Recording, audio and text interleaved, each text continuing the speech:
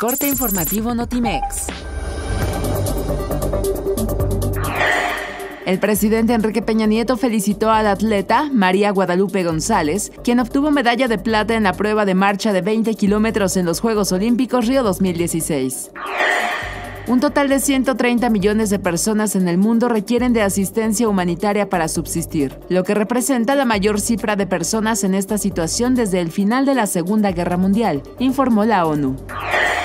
La Policía Federal agotará el diálogo para evitar que el magisterio disidente realice bloqueos al iniciar el ciclo escolar 2016-2017 y solo en caso de que este fracase se hará uso prudente y legal de la fuerza, dijo el comisionado nacional de seguridad Renato Sales Heredia.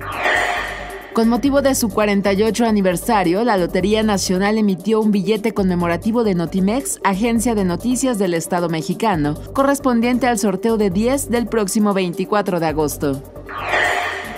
En pruebas por equipos, estudiantes de secundaria obtuvieron ocho medallas de bronce en la Competencia Internacional de Matemáticas 2016, en la que participaron 283 estudiantes de 31 países, realizada en Chiang Mai, Tailandia.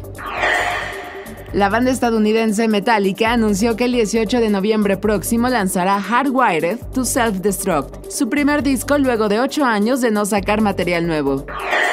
Con el fin de formar nuevos públicos y conmemorar 80 años del deceso del poeta Federico García Lorca, la Compañía Nacional de Teatro ofrecerá lecturas dramatizadas de las obras más representativas del autor español. Notimex, Comunicación Global.